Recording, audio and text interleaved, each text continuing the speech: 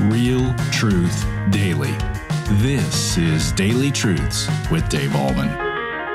Hi, everybody. Welcome back to Daily Truths. Obviously, we're talking about end time theology. And in Matthew chapter 24, Jesus goes off on end time theology. As a matter of fact, we've already said this is the doctrinal seat, the primary position of what we believe about the second coming of Christ. And to pick it up in verse 36, this is what Jesus says concerning that day and hour no one knows. Hmm. There have been a lot of people who tried to predict the day and the hour that Jesus is coming back. I remember when I talked to my brother, who was a good Lutheran, but then uh, went off to the Pentecostal movement, and uh, and he was just entrenched in end times theology. And he told me, you know, Dave, um, we know basically when Christ is coming back, he's going to come back in 1985 or whatever it was back then. And I said, I quoted this verse. I said, Al.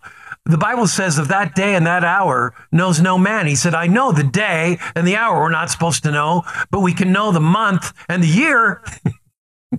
What's Jesus saying in all this? He doesn't want us to know when he's coming back, right? Now, listen to what it says here in verse 36 with concerning that day and hour, no one knows, not even the angels of heaven, nor the Son, but the Father only.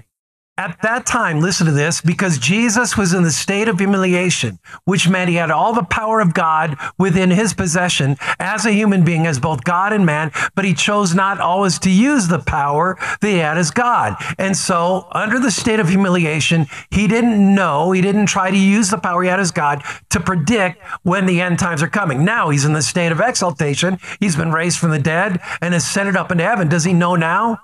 Well, yeah. so here's the bottom line of our little devotion today. Why doesn't Jesus want us to know when he's coming back? Well, he always wants us to be prepared. And how do we prepare ourselves? We've talked a lot about it.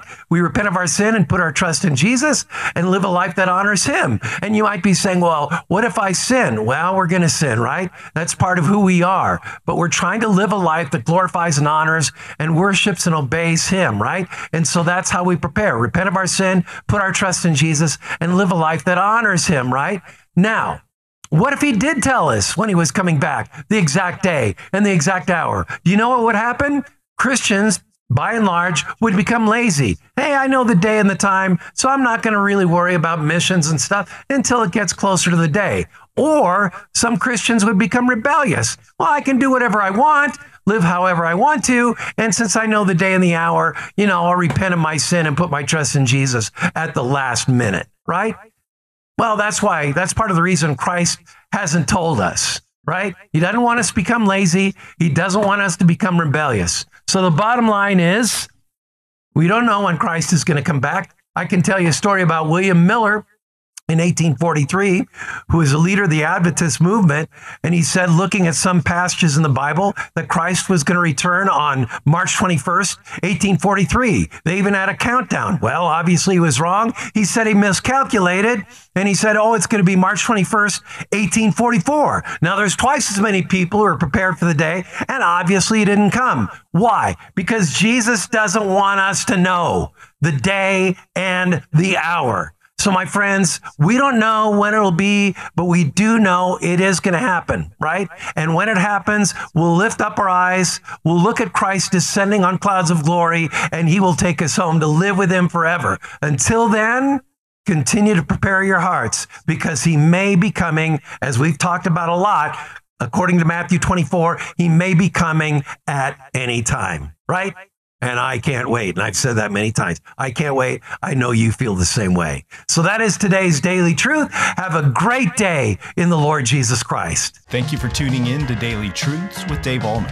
Pastor Dave Ahlman is the pastor of Mount Hope Church in Boulder, Colorado. If this ministry is blessing you, please consider supporting us by sharing this channel with a friend. You can also like, comment, subscribe, or leave a review. This helps us tremendously. Come back tomorrow for your next Truth.